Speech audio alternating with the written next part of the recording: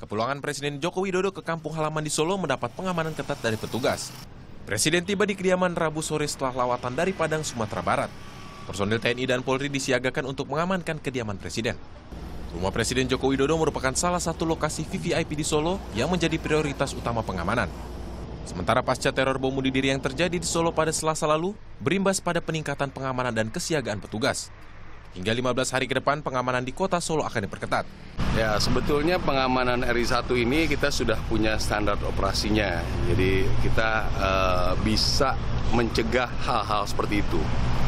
Uh, namun sedikit banyak akan berpengaruh untuk meningkatkan tingkat uh, kesiagaan kita, kira-kira. Tidak ada penambahan personil?